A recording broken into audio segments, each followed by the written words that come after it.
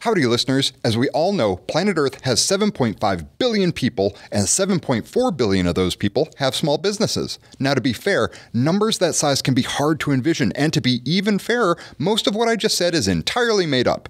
But I'll tell you what isn't made up Keap. Keap is the all in one client management software designed specifically for small businesses.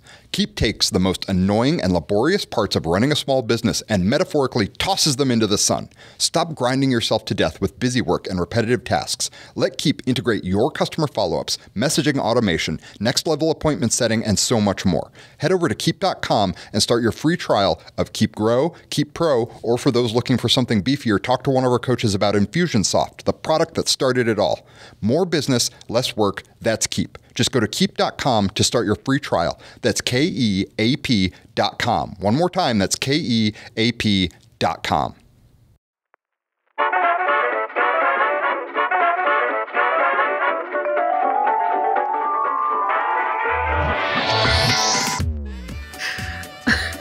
See my roommate just said, don't record yet? I, I have to flush the toilet. I heard that. Oh, that's amazing. That's awesome. That's like Oh my gosh, that's so funny. Yeah, they heard Morgan. So go ahead and flush away and then stay in your room. Exactly. I saw that, Jennifer. Okay, Charlie, that's go the see your Disneyland aunt. coronavirus the coronavirus equivalent of the That's my favorite part of the newscast ones. I like I chuckle so hard watching the newscast ones because it's like, why do they try to act like nothing's happening?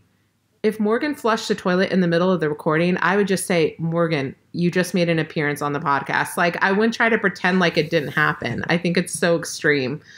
Okay, so that being said, are we ready to dive in here? Because I think Grace is going to start thinking we just invited her so that we can chat and make new friends.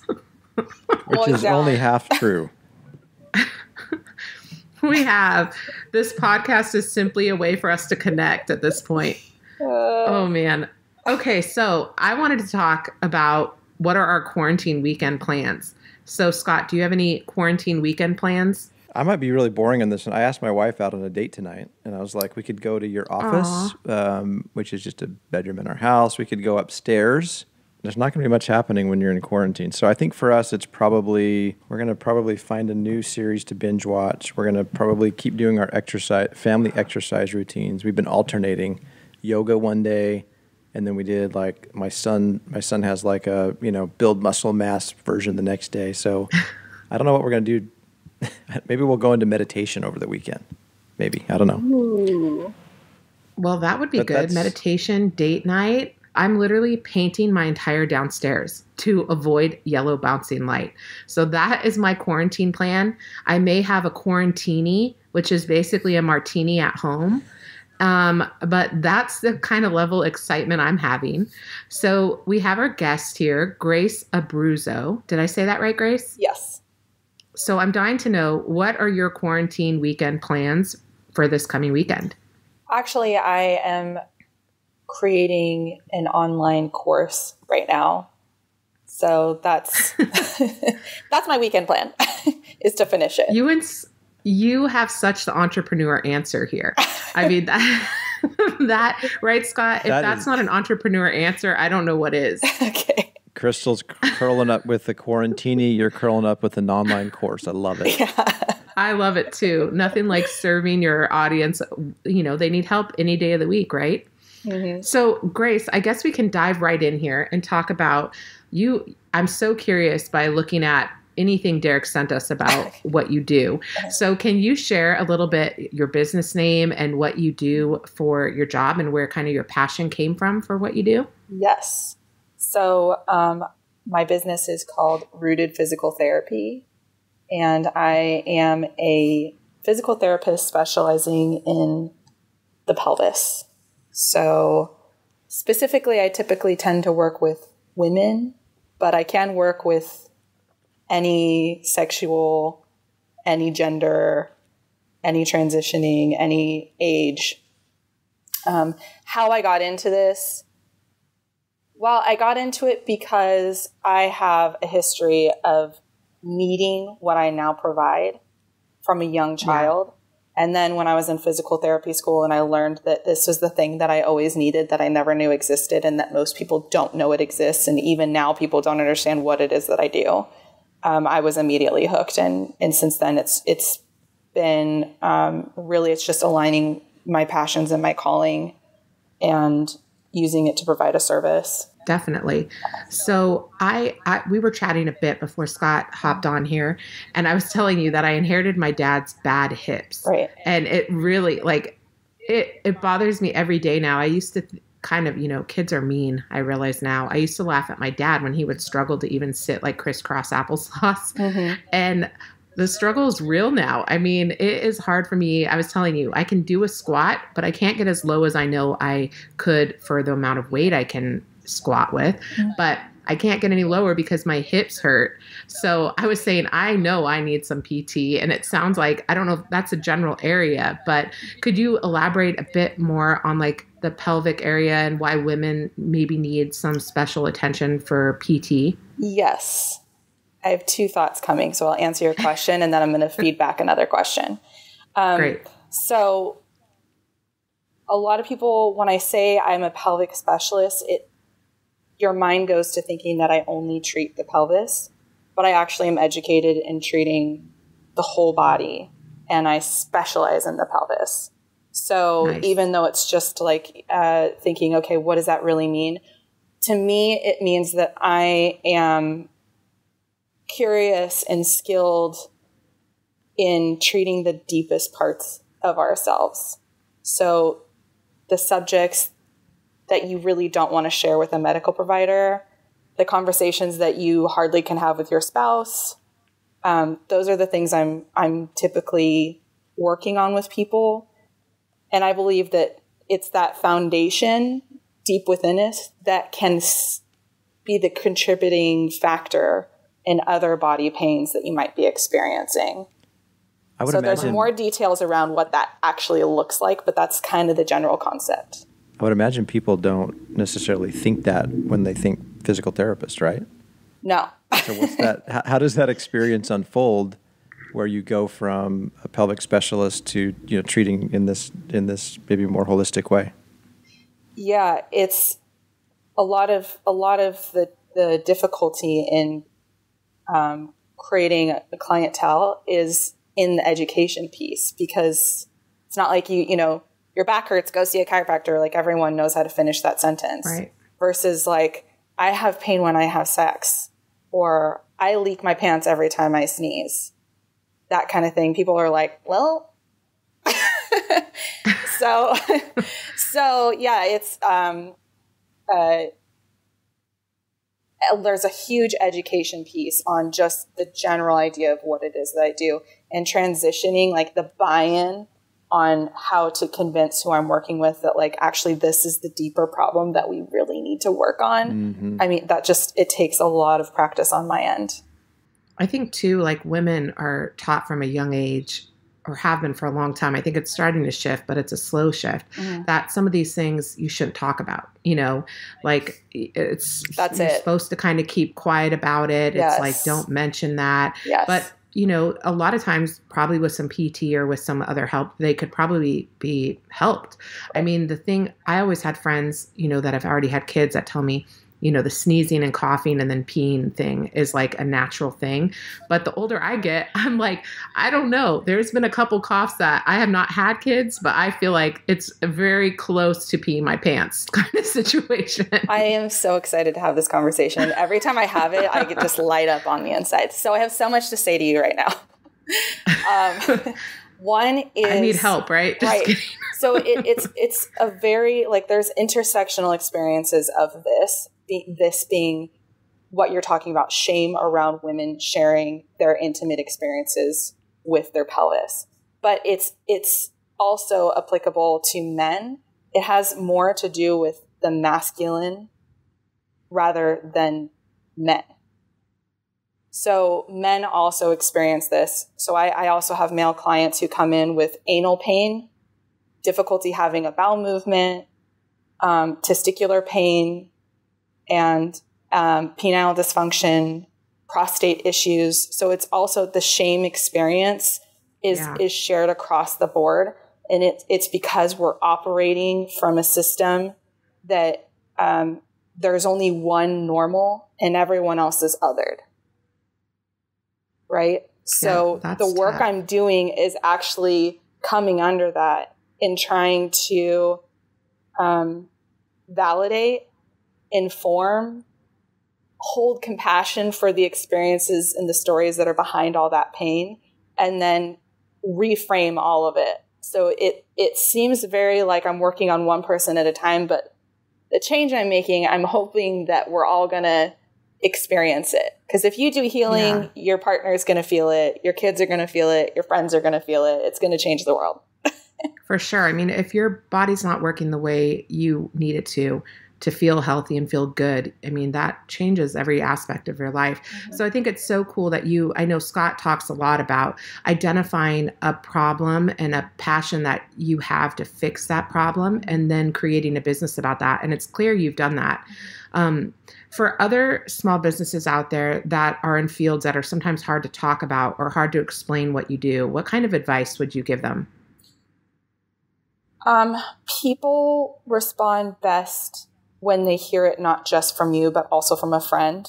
I would say gathering reviews from people that you've worked with is one of the best ways you can market more than like so many other things. I love that. Just Reviews word of mouth. So critical. Yeah, so your your first goal is to just make that connection with your first client and have that be a really good experience.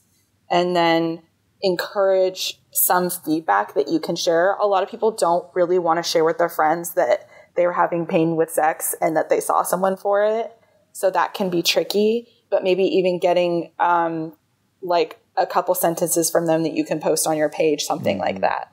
so interesting because a lot of business i mean we we've preached for a long time that education can be a critical part of a really you know um, effective and impactful way in marketing Mm-hmm. some people are on the opposite end of the spectrum in the sense that they have they're in a fairly commoditized industry and so you know coming up with unique content is not as natural or easy shall we say mm-hmm. I think you sit maybe on the on the opposite end, which is you you know there, there's a you're in an extremely unique niche, right? And then you add that layer. I think maybe one of the challenges for you, as you're pointing out, you had that layer of well, I don't really want like it, it's kind of a it's a topic that I don't necessarily want broadcasted in the way that I consume the content, and you know, Right. and to your point, you know, somebody who's giving you a positive review.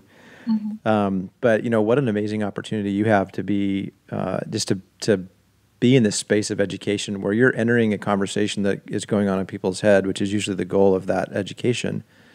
But you're you're entering the conversation that in many cases they have to have alone. You know, like it's just you don't you don't have maybe with the exception of some very very close intimate friends. It's a it's it's a struggle that they're having to deal with on their own.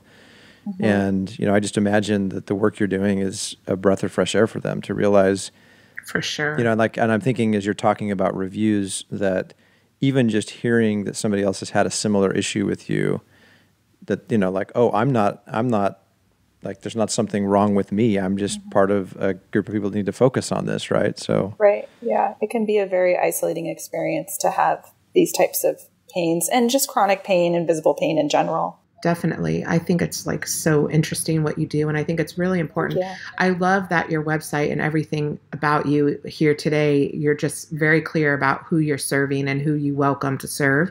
Um, in a world where I feel like healthcare in some ways has gotten so impersonal, you can tell by your webpage and just hearing you talk today that you keep it very personal. and i think too like certain um certain transgender you know is becoming more and more common. People are becoming more and more accepting of that. But i feel like we're just starting to tap like scratch the surface of the things that they might experience and some of the things they're probably embarrassed to speak about too. So i love the fact that you're so open and welcoming to anyone who has an issue um, that you can probably solve. So i love that. Um, that being said what would you say the advantages of being in like a niche specialty audience serving kind of business The advantages. Oh, well, I think, um, Scott, even you kind of touched on this. It's easy to get, when you're creating a business, it's easy to get trapped in the idea that there is scarcity. So, like, there's not enough clients and there's so many, there's so much competition that you can't like they have a lot of people, so there's not enough people for you to have. And there's an orthopedic clinic on every block, so there must not be enough clients, or like kind of the idea that you're having to compete to get success, to get success, or how you measure success. And um, I think being in a niche, sometimes I would actually the reason I actually decided to go into this is because I wanted to be one of the few people diving headfirst into this. I started in my own practice four years ago, and that was when I was only a year out of school. And other colleagues were like, You hardly know anything. Why are you starting your own business? And I was like, There's something that's giving me the confidence that I that's can great. I can level up to what's being provided because I can count on my hand how many people are doing this. I've now come to discover that the feeling of scarcity is more internal than it is external. Um, so the advantages, I think it's maybe an illusion on some end that there's a limited number of clients in the pot and we all need to scramble to get them. There are so many, there's so many people. there are so many people yeah. with a lot of money who need this. And many of them are not, it's just, it's just not being solved. There is and it's not being solved. There is so, no pot. Right. So exactly. So 100%. the thing that I thought was the advantage, I've now learned that that was just me needing to face my internal scarcity ideas. So Grace, so, take us take us back. I want to I want to have you go back to the maybe the the time when you felt the most self doubt about this move that you made off on your own. And you know, you you mentioned some of the feedback you're getting from some of your friends, like, hey, well, you're not you're clearly not ready for this. So right. I imagine that was a personal journey for you as well. So take us back. What was the hardest moment, and what was it that got you from that place to where you are today? Uh, I so deeply believe in myself. I don't need external validation. I've gotten to a place where if I don't offer this, then I'm holding my I'm holding myself back in a way, and I'm, I'm not living my authentic self. And my authentic self is expressing through these gifts. So why would I why would I quelch that? So there there have been times and my closest friends know because I would call them in distress saying, "I give up." I'm like, "This is too hard."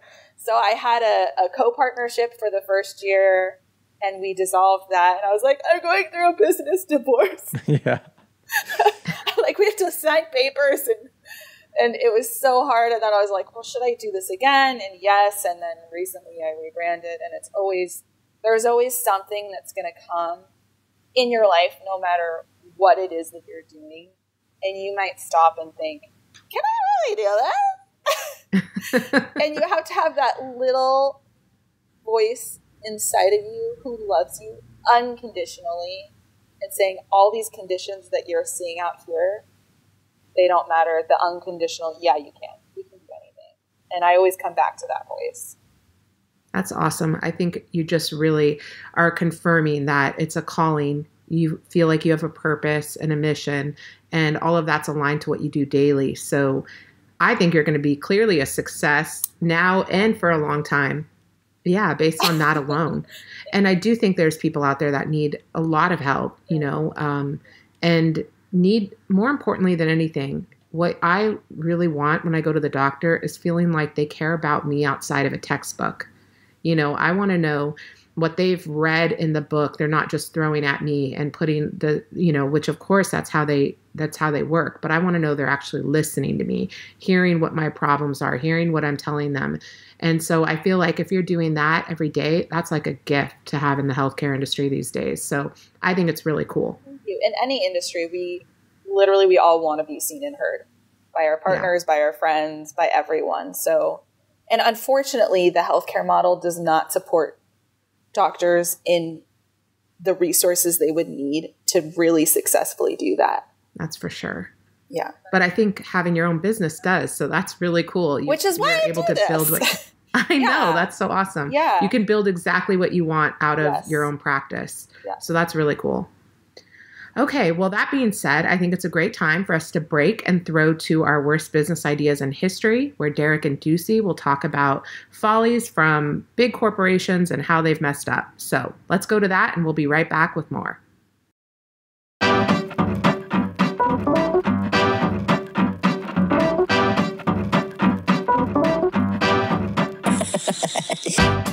Howdy, folks. I'm Derek Harju, And I'm Ducey Van Dusen, and this is Worst Business Ideas in History. the show where we look back at some of the most brutal missteps, failures, and flops in consumer history, And make fun of it. but also learn something. Nope, it says in my contract I don't have to learn. Uh, fi- fine, uh, the rest of us will learn something, and you can just mock people's misfortune. Sounds good. Welcome to the worst business ideas in history.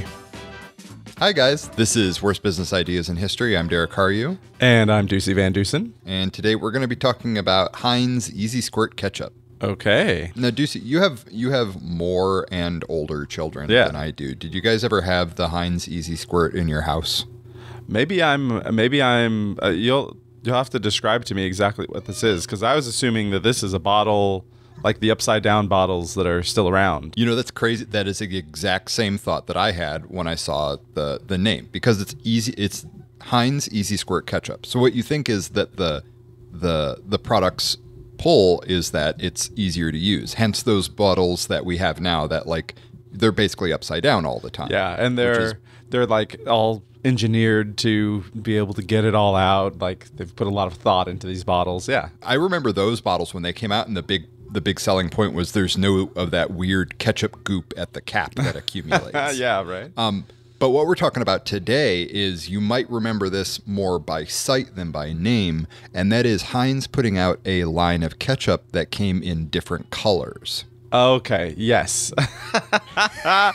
ringing a bell I, now. I do remember um, like purple ketchup and stuff like that. Yeah. And that's usually the one people remember. So apparently, um, Heinz put out this this product in 2000, and um, it came in uh, teal, green, and then uh, primarily it was it was purple that was the most popular. The exception to that being they uh, they put out a green version as a tie-in with the movie Shrek, which uh, I you know Oh, okay. which despite your feelings on Shrek, it's a very it's a very successful franchise. And I don't mean Ducey's feelings. I mean I mean the public at large. Yeah. Yeah. It's you know Uh, that, so- that that first movie was charming. That that first was, one. Yeah, it was fine. it was fine. I didn't need I didn't need to go deep into the Shrek mythos. but Right. That's a that's a discussion for a different day. So Heinz, this is a pretty straightforward uh, play by Heinz. You know, they're like, you know what kids like? Kids like colors, and kids like ketchup, and kids eat a lot of ketchup. They put ketchup on everything. So let's make it so that kids want to buy our ketchup more. So we'll put it out in these fun colors and these like easy to hold bottles so that the kids feel more involved with with you know mealtime. I like I like that phrasing. They're more involved with mealtime because I mean that's a battle sometimes as a parent having kids be involved in mealtime.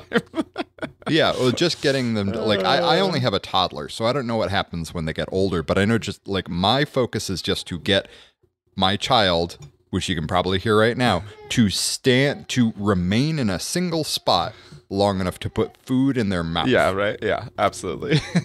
Uh, so they put out these multicolored ketchups, and I, you know, it's it's not a terrible idea. Kids like bright colors, so they made uh 650 million bottles of this stuff. wow. Yeah. That was a total uh, production load. And they sell about that many total bottles of, Heinz does, sells that many total bottles of ketchup almost every single year. Okay. So they mass produced this stuff thinking it was just going to become one of their staple products. And as anybody knows, Heinz is actually a pretty fun company to look at the variety of their products because they make everything. Like they sell like a bunch of products here in America, but worldwide, they make all kinds of weird stuff. They make pineapple chutney, they make uh, canned sardines. Depending on what part of the world you're in, um, Heinz makes a lot of stuff. Okay. Yeah, that's definitely. I mean, we kind of think of condiments. Yeah, that's their but- that's their bread and butter, so to speak. Um, uh, that wasn't intentional. It just was already coming out of my mouth, and I had to save it. So the problem was that like they actually, you know, there wasn't a problem at first. The truth is the product actually did pretty good, and you know uh, they they had some success at the beginning. They sold like 20 million bottles their first uh, quarter, which I guess is good for them, and uh, you know kids seemed to like it. But after a while, it wore off really fast for a handful of reasons. The first reason was parents buy the ketchup kids don't buy the ketchup. Right. When kids go to the store, they're if if they are coming along on a grocery shopping trip, they care about picking out cereal, asking for sweet snacks, you know, sugary snacks, and the staples are mostly left to the parents, which means the parents are like, I'm not putting purple ketchup on my food. Like we still need ketchup in the house, and I have no interest in it being purple. You may want this, but I don't want this. Yeah. and it's not like cereal.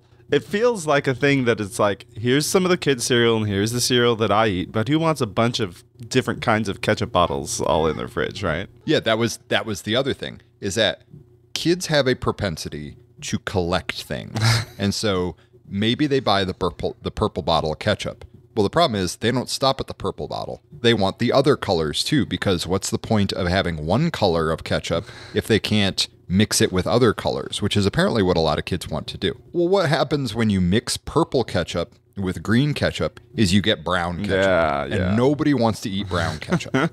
the other problem was is that in order to make ketchup green or purple or teal or any of the other colors that they made, they actually had to modify, genetically modify the ketchup and I assume the tomatoes they were producing to accept the color. Because otherwise, if you add food coloring to something that's already red, red is a really dominant color. And so if you add another color to it, most of the time, again, you end up with brown. So they modified the ketchup and it apparently changed the texture to the point where people described it as goo. The word goo comes up over and over and over again. Like it was more viscous somehow, um, which is a word that immediately turns almost every human being off.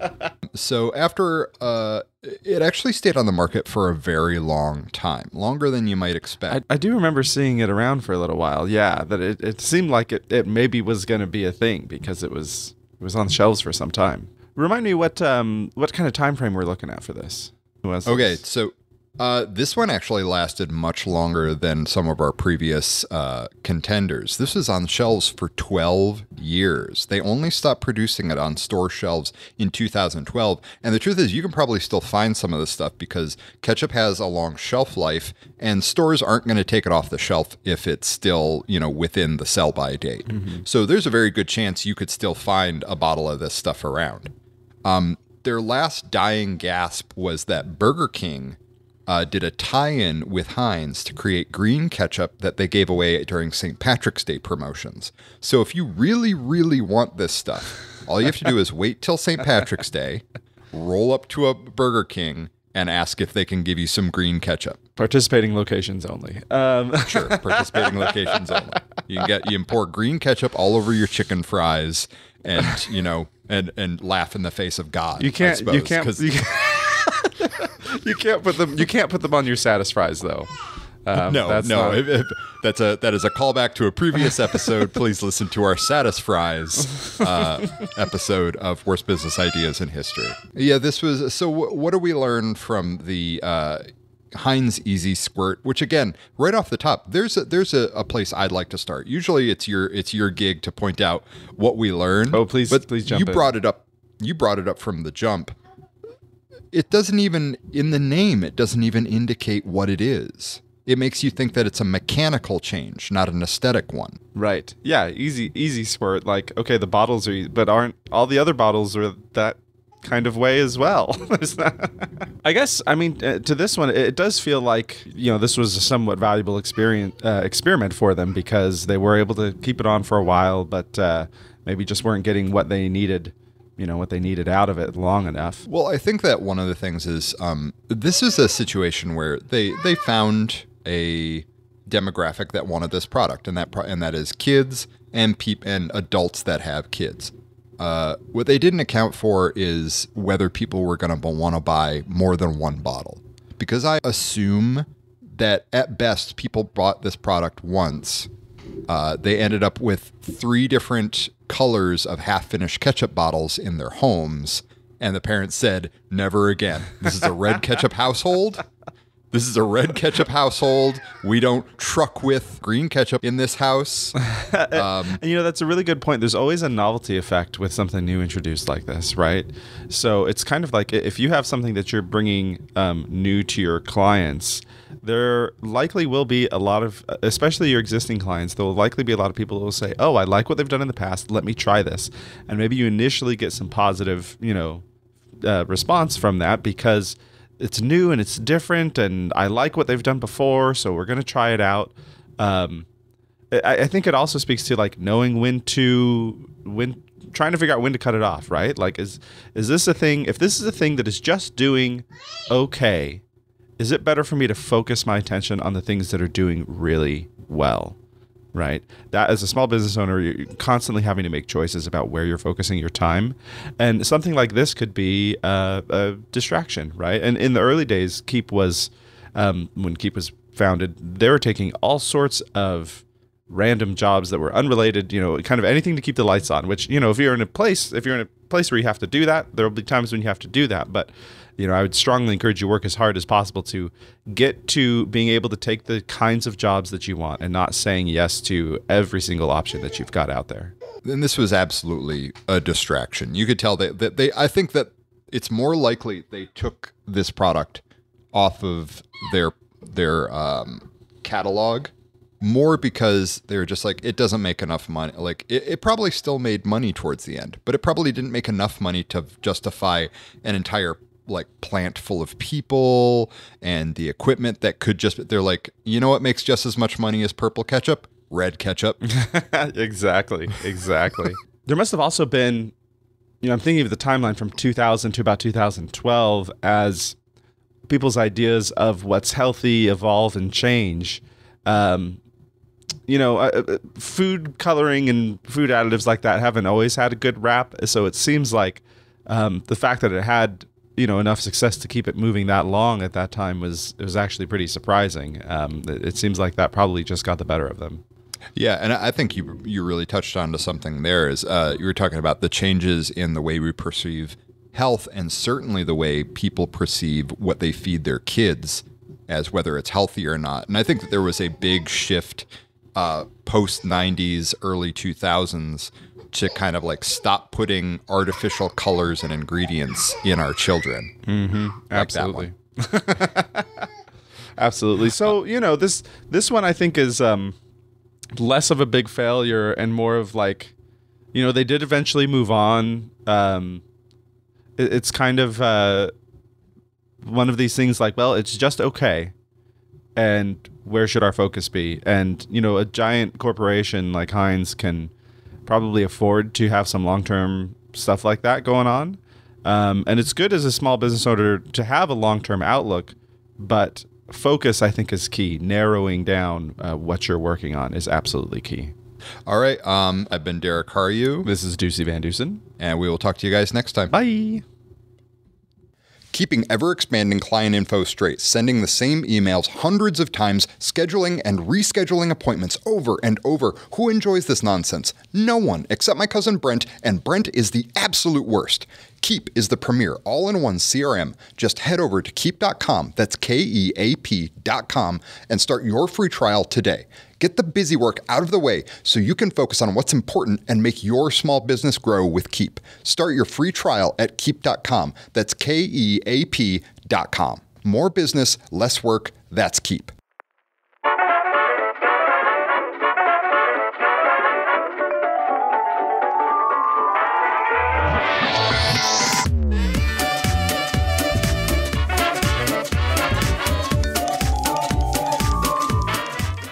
Right, welcome back. Thank you for that, Ducey. Thank you, Derek. Um, all right, Grace. I wanted to I wanted to touch on something you talked about earlier. You said that your weekend plans involved creating some course content. So help us understand. Has that always been a part of your model? Is that something that's new that you're doing as a reaction to the the quarantine? Uh, tell us a little more about that. So I have been working on online content for eight months. Um, but it was always a side project, and I was creating this big idea like I'm going to make a whole postpartum program that is inclusive, validating, and body positive, which is something that's not currently on the market. I love that. Um, this has not yet been created, so hopefully, my idea. it will be by this weekend. well, you got okay, so separate. so I've been working on that one with co-partnering with a chiropractor, and that's going to be coming soon. However, in this past week, things have changed. I no longer can see patients with my hands, and I'm now learning a vulnerability in the career I have chosen is that my clients love my hands. So now that my hands are unavailable, there's a lot of like, well, we'll see you when this is over. Mm-hmm. and I'm like, Aw. um, honey, no. so actually, within a week's time, I got a download for new content. And right now, I'm creating a program that has to do with our sense of safety and security. And that feeling actually resides in our pelvis, in the deepest part of our pelvis. Hmm.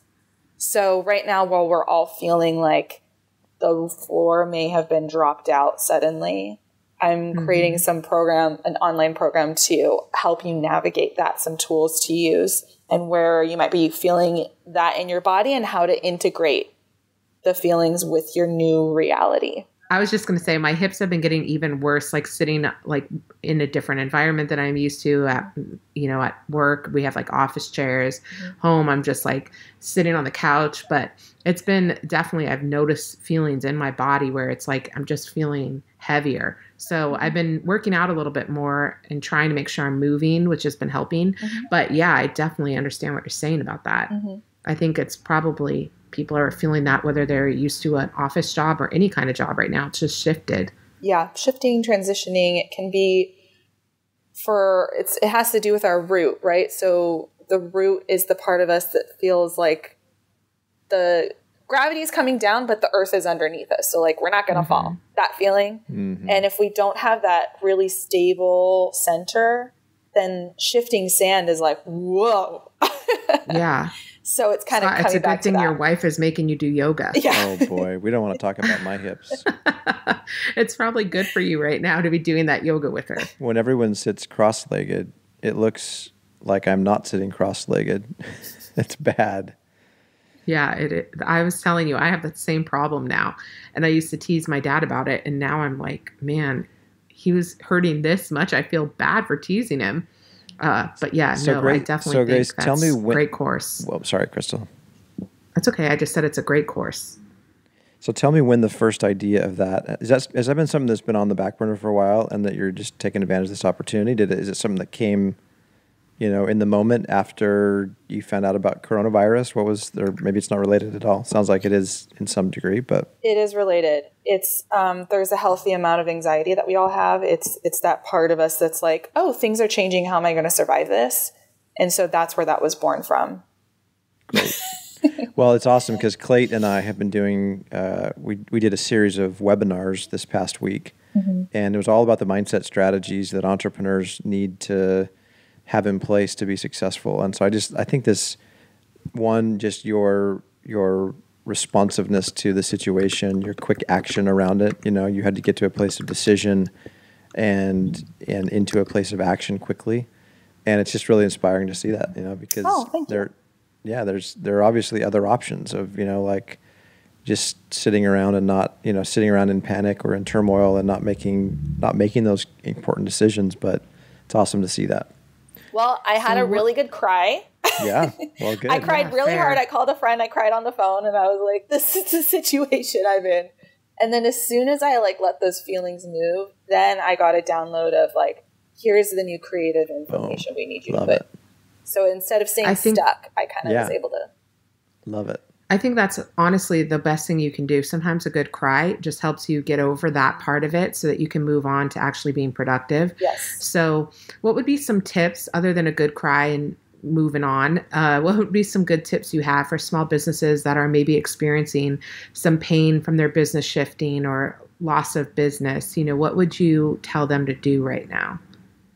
Oh, well, yeah. So I guess I would first say um, to really, really look at what it is that they think they're facing. A lot of our fears, like, you know, 99% of our fears aren't actually happening. So, what is it that you're really facing right now? What's the fear that's actually there? And then experience the feelings around that. And that might lead to a cry. And then I think after that, I would move into maybe a gratitude practice. Like, okay, well, I have a roof over my head and just the list of things that right now in this moment, all of my needs are met. Um, because right. we kind of go to catastrophizing quickly right. as small business owners, right? We're all like, it's over. Yeah. it was all for nothing. I guess when you put that much into something, it's easy to feel like that when things shift. Right. But it's just like you're married, you have an argument with your spouse. It's like you go through it, that doesn't mean everything's over right? Yeah. So it's like kind of coming into like the realities of okay, okay, what's actually what am I facing here? What do I still have going for me? Um, and then I would probably do something that would get me in a space of um, downloads. I call them downloads, but as an entrepreneur, when I'm feeling aligned and spiritual, I get these like crazy ideas that flow through me. And so for me, I would be doing something to get me in that space of a download. So it might be like sitting outside and looking at trees. I might be doing some yoga or some stretching or some deep breathing or some breath work or something like That's that. That's great. Mm-hmm.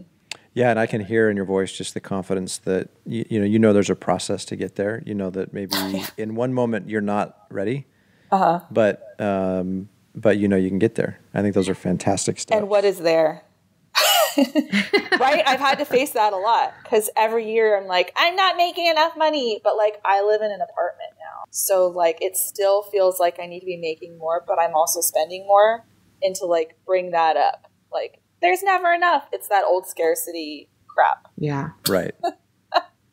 well, and then there I was referring to was getting to that place of creation, right? Because Oh, the creation space. Yes. Yeah. Yeah, okay. because uh, and and obviously that's the key I think to getting to in terms of getting the other benefits of that creation space.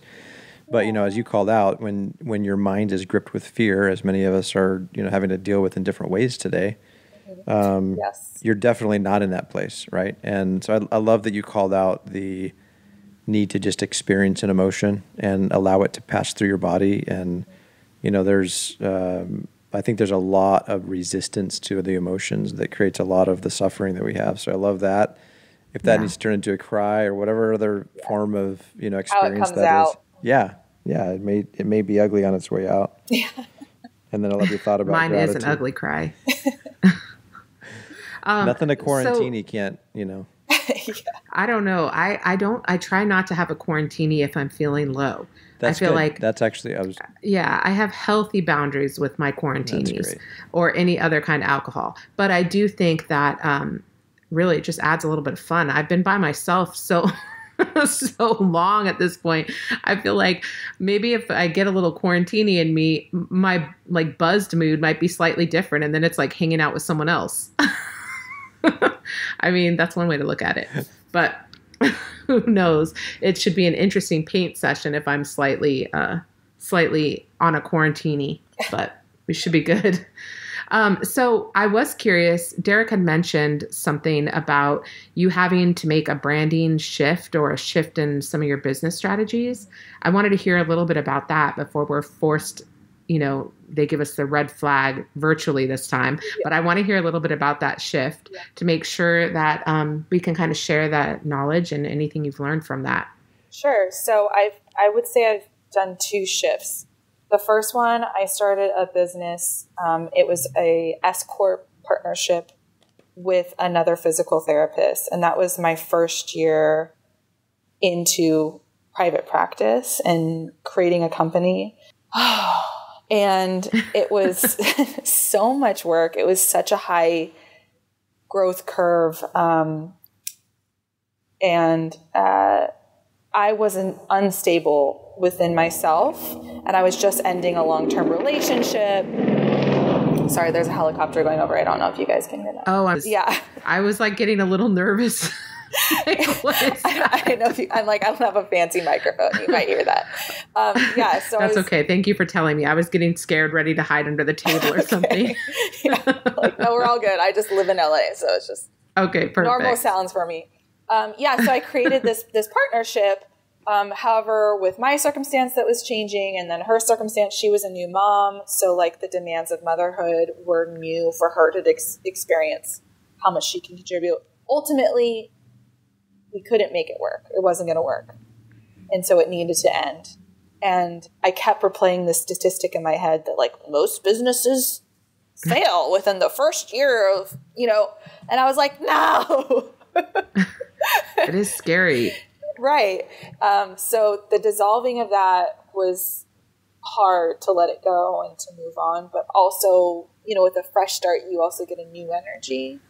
So mm-hmm. when I was rebranding again, I was like, well, I don't have this cool idea. My first company was called Bloom Physical Therapy, and and I was really jazzed about like the brand around it. And then when I had to rebrand suddenly, I was like, I asked one of my clients, I'm like, what are what are your thoughts? And she was like, I don't care about the name. I only know your name. So then I was like, okay, the brand is me. And that was when I first drew that connection mm. that you can be so much of what your brand is. Like they can be so mirrored and the mirroring actually builds authenticity within the re- the receiving end of the client. Mm. So then my next brand was called Dr. Grace Physical Therapy and I just went by my name. And then nice. just recently, as I have changed, so has my brand. and now I am rooted physical therapy because I am all about rooting into this stability, safety, security space within us. And then COVID happens.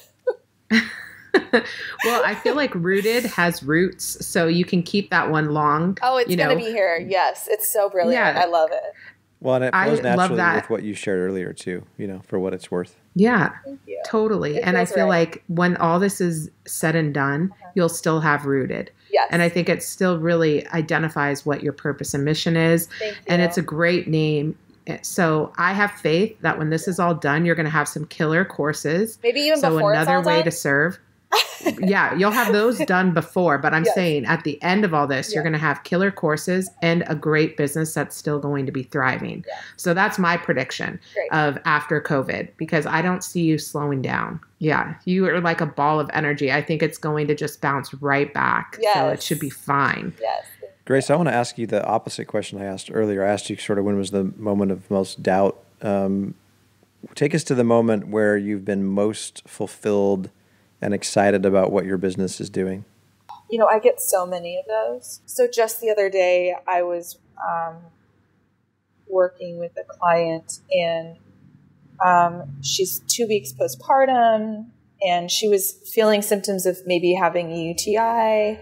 And I was like, she didn't want to go into urgent care because of everything that's going on. She needs to be staying at home. She's immunocompromised.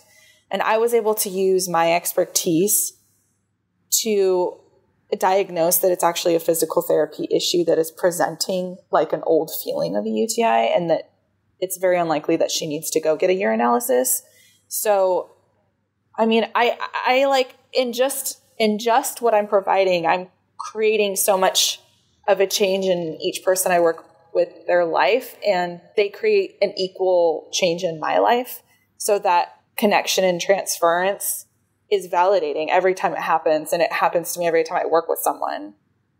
Um, even awesome. if even if it's in a teaching way, even if it's in a way that's like, oh, this is the type of client, or this client for whatever reason in this moment is actually not the right fit with me. Even that is teaching and validating in a way. So I, I get those highs, like those kind of like, oh, okay, yeah, I'm I'm where I'm supposed to be. I get those really, really often, and I I don't take it for granted. I really do feel blessed. Well, it's very clear that you're helping all of your uh, patients and all of your clients. Um, what would you, just as a final thought, what would you tell small businesses out there? You know, what would you tell them to keep going? How would you tell them to weather the storms that they face, you know, that you inevitably face every day in uh, being a small business owner? Well, one thing that's coming up right away is research is me search. So anytime you're feeling that external business wanting to fix things outside, the job is to look inside on what's going on in here and work on that first. And then it will transfer out to outside. And um, for that, Um, I would say coming back, every yogi person says this, but I'm going to say it. coming back to breathing is a really good place to start anywhere with anything in this present moment, just taking a breath. So if you're feeling stuck and like you don't know what to do, or if something unexpected has happened, just sitting still and taking some breaths and sitting with that feeling is actually, I would say, the most healthy advice I could give right now. I love that. Mm-hmm. Awesome. Well, Scott, do you have any other final thoughts? Well, I just, Grace, I want to thank you. I'm, I'm just really impressed with the unique and obviously needed problem in the in the world that you're solving. And Thank you. it's just you know like I I'm never ama- I, I never am ceased to be. Let's see, how do you say that? It never ceases to amaze me mm-hmm. um, at how the entrepreneurial spirit will go after and find these problems and then create unique solutions. And it's awesome. Not just not even not only are you creating solutions in your regular course of business, but you're adapting and learning and shifting, um, like many of us are having to do in this environment. And you know, I'm I'm just you know I'm just uh, super impressed with what you're doing and glad that you got to come on today and share some of your uh, lessons and thoughts and ideas and recommendations for other business owners. I hope our listeners are able to find in your story, you know, a version of uh, their themselves and that they can yes. draw strength from that. Yes, we're all mirrors. Thank you so much for having me. Yeah, thank you, Grace. Thanks, guys. Mm-hmm. All right, so we're going to call that a wrap for this episode of Small Biz Buzz. Thanks for listening to Small Biz Buzz. Please take a second to subscribe to the show and leave a five star rating. It helps keep the show going. And if you need a hand with growing your small business, head over to keap.com. That's K E A P.com and get started. More business, less work. That's Keap.